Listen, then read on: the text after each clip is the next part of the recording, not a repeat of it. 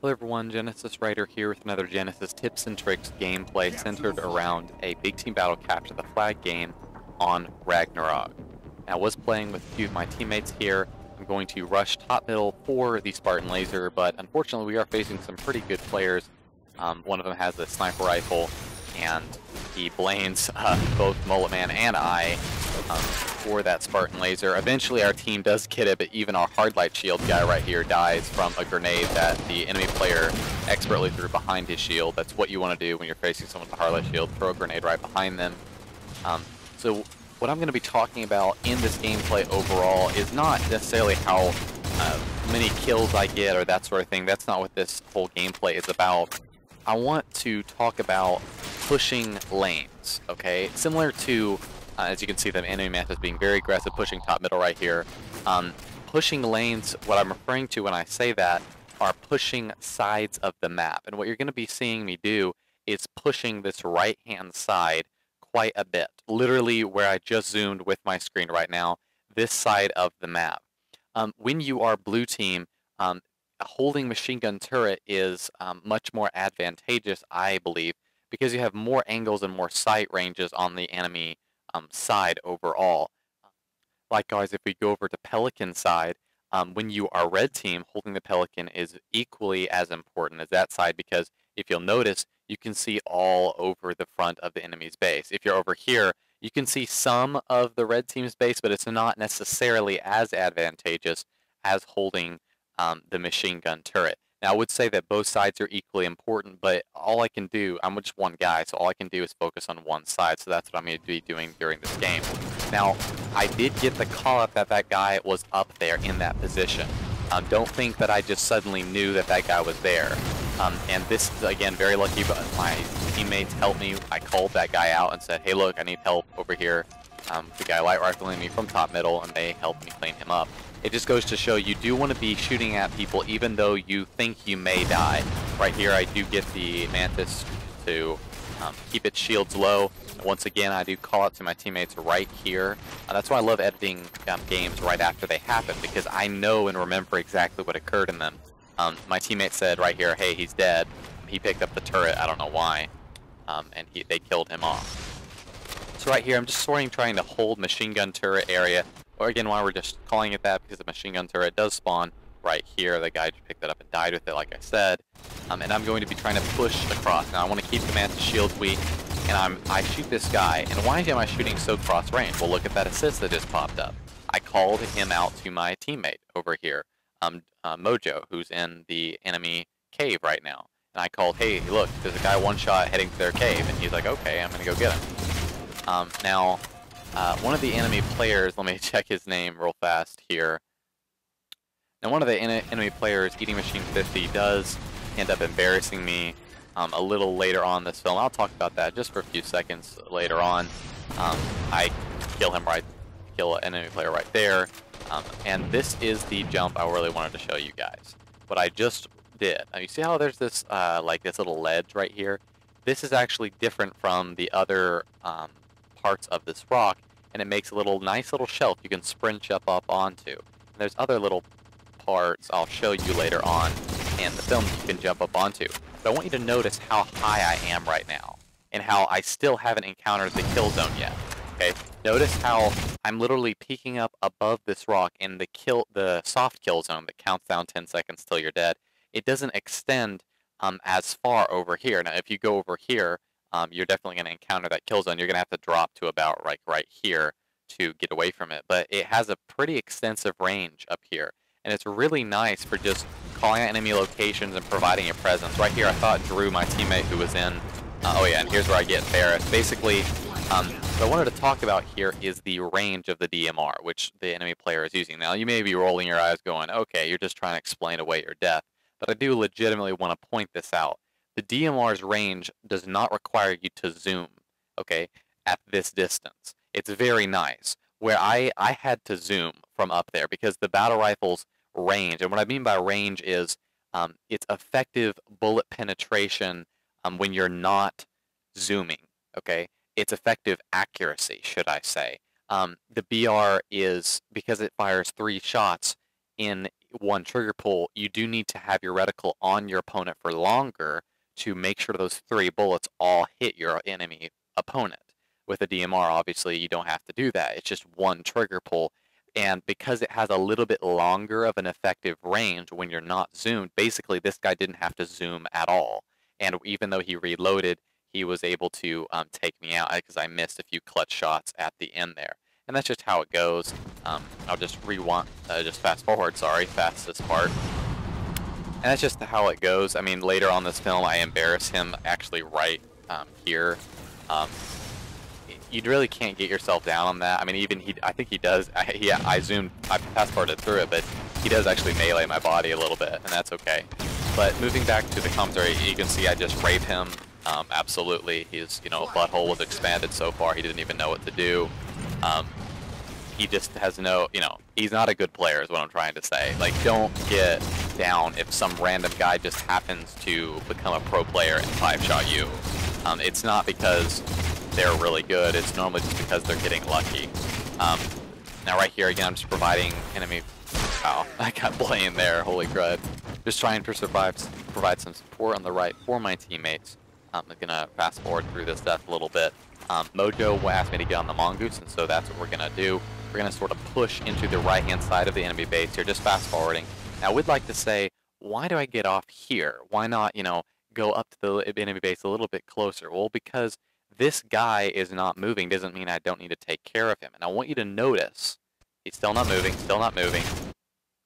Oh, finally he decides, decides, decides to start playing again. You see what I mean? Like, you cannot, um, basically you cannot expect or think that enemy players are not playing because they easily could be playing. Now right here, I go for the flag because I'm being shot um, by this carbine player who just spawned in their water cave. And um, this is how you want to be pulling flags out of the enemy base, if you can. Now, unfortunately, there's a bunch of enemy players there, but later on, I show expertly how to do this. You do not need to go into the bottom of the enemy base. In fact, there is little to no point to do so. I will repeat again. There is no need to go into the bottom of the enemy base when you're trying to pull a flag out. You just need to run up the front of the base. This is something I've been wanting to tell people for a really long time and actually show them. There will be several examples of this in this video. After watching this video, I hope that you, if you ever play with me, understand and realize that running up the front of the enemy base is much better of a strategy. Um, it, I, have tried it extensively both ways. In fact, I didn't even know you could run up the front of the enemy base, embarrassingly enough, even in Halo 3, where the map was called Valhalla. Um, this map is a remake of a map called Valhalla from Halo 3, also a very good map. And I didn't even know in that, um, in Halo 3, that you could run up the front of the enemy base. I had no idea, um, but you can. Um, in Halo 4, it's a little bit easier because you have sprint, obviously.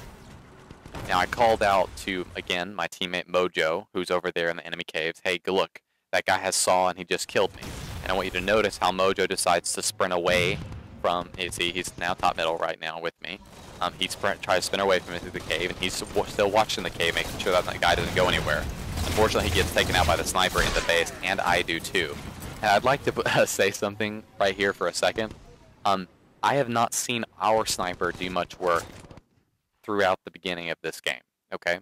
And what I mean by that is, um, I haven't seen him snipe anybody uh, of note worthy. You know, I haven't, I just haven't seen, up until this point, I haven't seen our sniper work very much. So what I said literally right here in the game to my teammates was, guys, whoever has a sniper, that this is just embarrassing. Okay, you should have sniped their sniper a long time ago. The reason why is because when I have the sniper, I always am like sitting sitting right here, you know, peeking up and looking exactly where they sniped us from, which is on their sides of their base, just making sure their sniper doesn't ever have a clear angle. I cannot tell you how many snipers I have out-sniped on Ragnarok. It is unbelievable. And I would like to point out, if I may further note, the next game we played was a game of Infinity, Big Team Infinity Slayer on Ragnarok. Guess what I did? I timed sniper. I said, I'm getting sniper. I got four sniper rifles, one binary, and one beam. 19 kills, zero deaths, eight assists, perfection. I've already maxed out the perfection commendation, but I decided to do that because I was sick of what happened right now in the game where I got blamed again by the enemy sniper who still hasn't got, got taken out. I killed the enemy sniper at least three or four times in that game. That was the last game I played. It was actually the game after this one. That was the last game I played before starting to make this video. Just goes to show that when you have the sniper, you really need to be watching for the enemy sniper. Um, right here, I'm just, again, I'm pushing the left lane. I'm pushing the left lane. I'm not trying to overextend. I'm just trying to provide my teammates with support. Um, right here, notice how I don't just hold down the trigger. I pulse the trigger of the saw. That's really what you want to be doing to retain your accuracy. And here's what I'm talking about. I want you to watch this very closely what I do here. Instead of just jumping into the enemy base, which I want you to look at my radar right now. You know how people are using camo, okay? And a bunch of random scrambled dots appear on your radar when a person is using camo? Then why is this guy, an enemy player, using camo with a shotgun right now and not appearing on my radar at all. And by the way, he was using camo even before I got up to the base. So I should have definitely been able to see him by now. This is called camo glitching, okay? It is a random glitch that occurs in the game. I've researched extensively on the forums.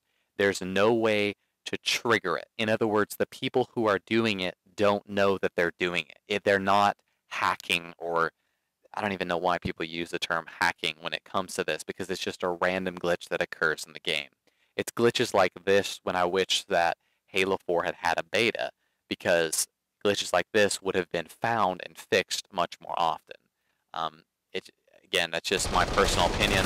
You can see my teammate got the flag. I wait, um, pull, pull down the trigger there, making sure to get the double kill, grab the flag, and lift out. And that's exactly what you want to be doing. Now it's just a matter of my teammates grabbing the flag over and over again because it takes uh, 25 to 30 seconds to reset the flag. You do not want to do what the enemy player did and randomly try to jump out of the side of the base. Always lift the flag top center via the front man cannon. Unless, unless, uh, unless their mantis is like sitting right here waiting for you to lift out to the front and all of the enemy players on the opposite side, then you can lift out the side. But always lift. Never do anything else. I am like I've played CTF so much, I cannot tell you how many players I, we get frustrated at because they try, oh, let's get on a mongoose and get out of the base. That doesn't work because enemy players are spawning all over you. It takes 30 seconds to reset the flag once you pull it out of the front of the enemy base.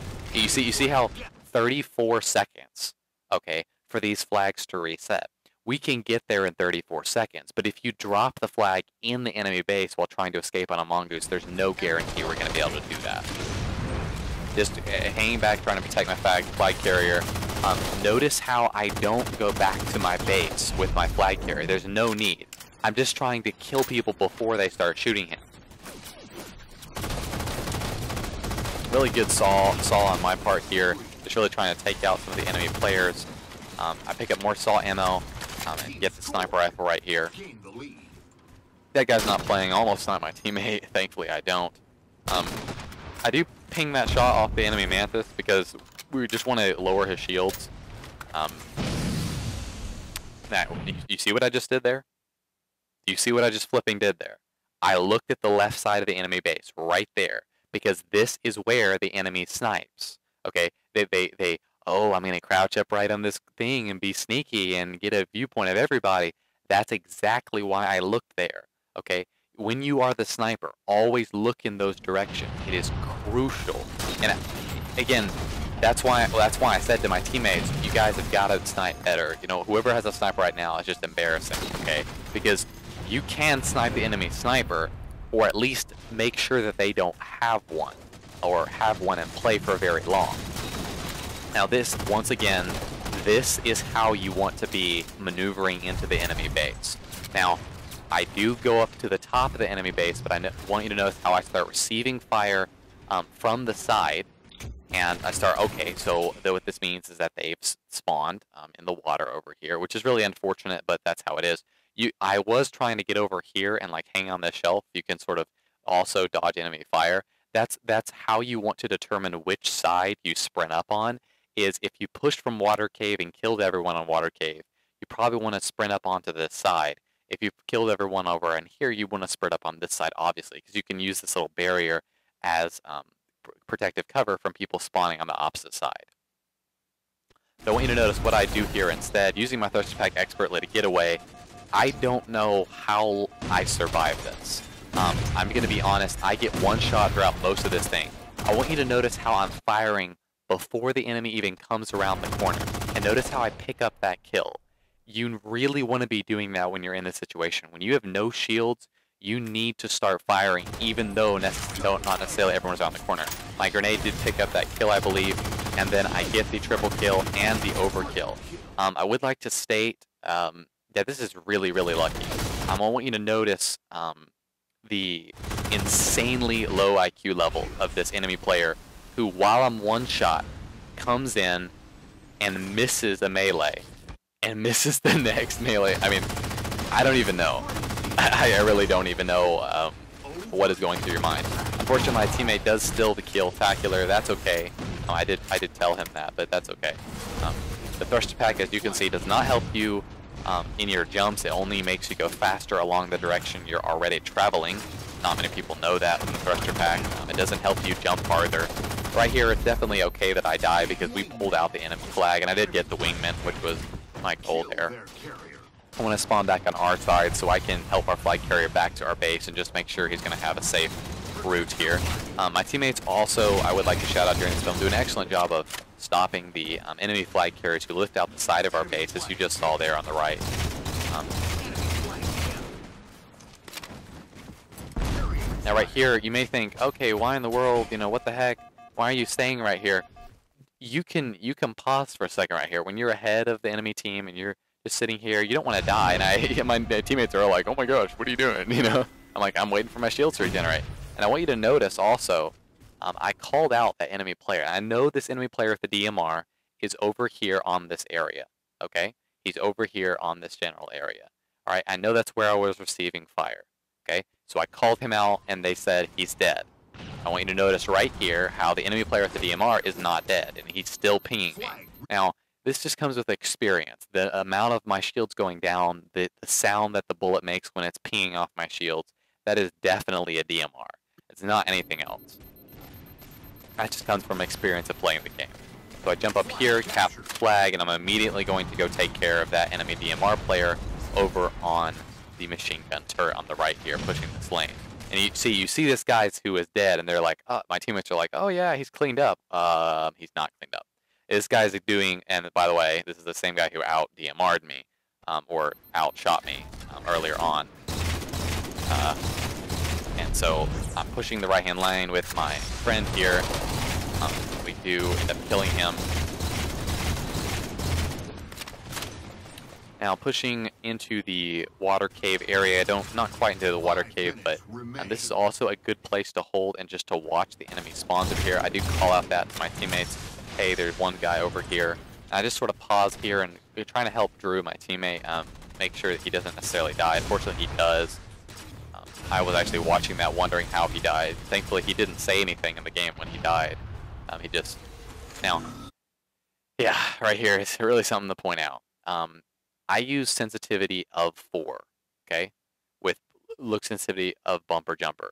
One of the reasons you want to use not sensitivity of 2 or 3, in my personal opinion, it doesn't apply to everyone, but in my personal opinion, it's because of kills like this, okay? When someone is going through the air at such high speeds, it is very difficult to keep track of them. And I want you to notice not how all my shots hit that guy, but how incredibly ac accurate I am for such an impossible, you know, angle to shoot at someone. Um, that just comes from using force sensitivity for years. I've used it since the end of Halo uh, 3, and I've used Bumper Jumper since, since the end of Halo 3 as well. And I probably will um, continue on Bumper Jumper when I play Titanfall. Now here I do ping the enemy sniper. I know that that guy that I just shot has a sniper, so I'm backing up. Now I want you to notice how the kill, uh, the kill, soft kill zone is uh, activating right here when I'm standing right here. But it doesn't activate when you're standing right here. Um, it's really strange. I, I, don't know why they chose to do it that way, how it doesn't extend all the way to this little ledge, but that's just how it is. Again, you can use it very useful. Notice how I see now I'm not in the soft kill zone. Now see, see how I had still six seconds left? Just because you come out of the soft kill zone doesn't mean the timer resets for your death. You have to wait several seconds for it to come go back to 10 seconds for your soft kill zone. Um, so don't keep jumping. You see how now it's 10 seconds and it's counting down from 10 seconds? That's that's what I'm talking about. Uh, this player is uh, not very competent. I, I, kind of wonder if this is the same guy who tried to come in at me behind the base. So I take him out and grab his DMR and trade it for my BR because I'm running low on ammo. Um, my teammate does a great job of pulling the flag out right here. Um, I see the sticky death spawn, but I do get pinged. I think that there's a guy over here um, in the cave, but uh, now he appears on my radar. Um, he was actually further into the cave and I didn't realize it. Now I want you to notice what I'm doing right here. I'm just crouching. That's literally all I'm doing. This player, even though he saw me go over here and he, he even threw a grenade at me, he is just oblivious. I mean, I want you to watch him. He, he doesn't even know I'm here. Okay? And this is the same Eating Machine 50 who out DMR'd me earlier in the game you have to realize that people have such low attention spans in this game. They're not truly paying attention to what's going on. If you can slow down the game specifically around this water cave area, you can brutally demolish some people like I do right here. Like, you can seriously destroy some people. Now, right here, I do get grenaded. Very good grenade as the teammate enemy player uh, does grenade me um, around the rock there. That was a very well-placed grenade.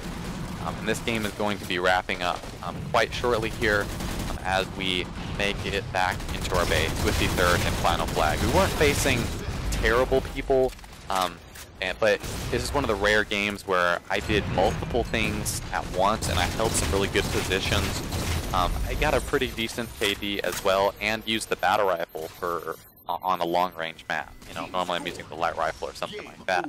Um, but guys, I hope you enjoyed this capture the flag game on Ragnar. I hope it helped you understand how to capture flags a little bit better, a little bit more, um, and everything of that nature. Um, subscribe for more Halo 4 content, like the video, it helps out a lot, and I'll see you on the next capture or whatever I end up recording. Peace, guys.